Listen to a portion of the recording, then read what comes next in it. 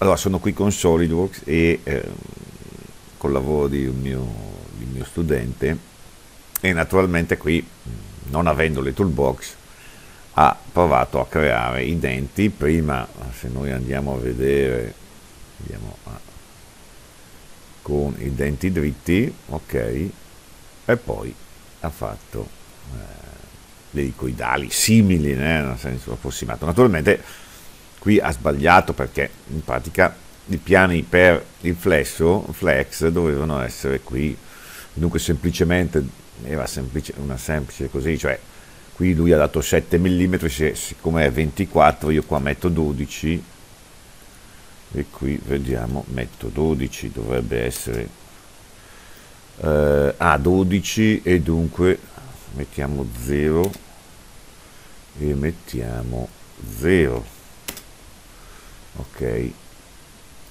In questi, questi due piani in modo che alla fine veniva così che è più accettabile rispetto a prima insomma eh, tutta un'altra cosa ecco una, insomma così posso accettarlo ma come era prima torno, cioè, dunque torniamo indietro eh, cioè diventa difficile accettarlo.